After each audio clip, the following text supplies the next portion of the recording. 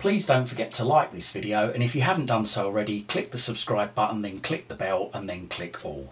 Every like and subscribe helps us make more great videos for you. In Windows 11 you might have noticed in the control panel they've actually got rid of the system the classic system control panel. So even if you right click it and left click open like you could do in Windows 10 it brings up the new sort of UI version of the system window which is great. Okay it's got loads of stuff in it.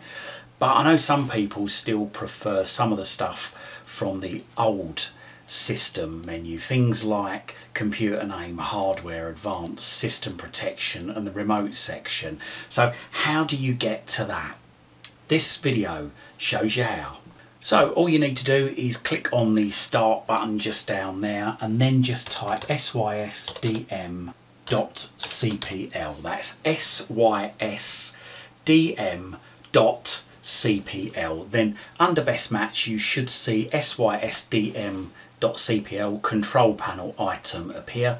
Move your mouse over that, left click once and up you'll get the system properties menu just there with the computer name in it, the device manager, device installation settings, the advanced menu with the performance, user profile, startup and recovery, and environment variables and the system protection section just there and also the remote assistance. So there you go, that's a quick and easy way of partially getting back the system menu in the classic control panel in Windows 11.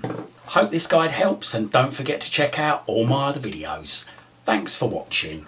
You can follow me on Twitter at CWTech. That's at CWTech on Twitter. And don't forget to check out my other videos in my YouTube channel. Just Google Chris Waite YouTube. And don't forget to like and subscribe to my YouTube channel. Thank you for your support.